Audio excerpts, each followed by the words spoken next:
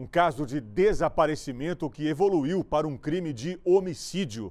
Na cidade de Matipó, região da Zona da Mata Mineira, o corpo da atleta Lavínia Scarlett Torres de Oliveira, de 25 anos, moradora da área rural, foi encontrado com sinais de violência. E a polícia está no caso. A gente conversa agora ao vivo com o repórter Sávio Scarabelli. Ô Sávio, boa noite para você. Existem duas informações importantes sobre esse caso. A vítima estava desaparecida desde o último domingo e hoje à tarde a polícia efetuou a prisão de um homem. Pois é, Saulo, boa noite para você, boa noite para quem nos acompanha aqui no MG Record. De fato, a Lavínia havia desaparecido no último domingo, né? Segundo a Polícia Civil, ela havia deixado a residência dela para ir até um supermercado. Ela tinha saído com uma bicicleta e não retornou para a residência dela. A Polícia Civil informou que teve acesso a imagens que registraram os movimentos da Lavínia horas antes do desaparecimento dela. Inclusive, nestas imagens, é possível ver um suspeito de envolvimento nesse crime. A polícia disse que o corpo da Lavínia foi encontrado com sinais de violência em uma estrada de lavoura na zona rural de Matipó. Quem nos conta mais detalhes a respeito do caso é o delegado da Polícia Civil, Fábio Freitas de Souza. Vamos ouvir.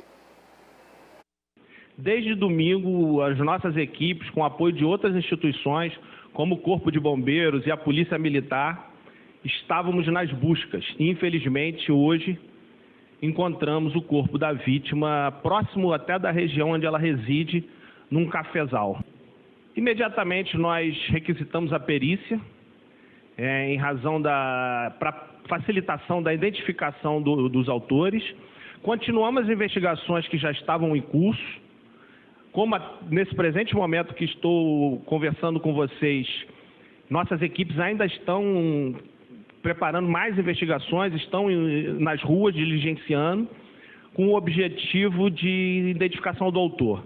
Nós temos uma, diversas informações, as investigações estão muito avançadas, mas como não é o término, ainda não, não é o momento exato de, de identificarmos é, para, para o público de quem seria o autor. Todas as informações que puderem ser remetidas para a Polícia Civil, para a investigação, nos auxiliarão em muito. O caso está sendo investigado pela Polícia Civil. Eu volto com você, Sal.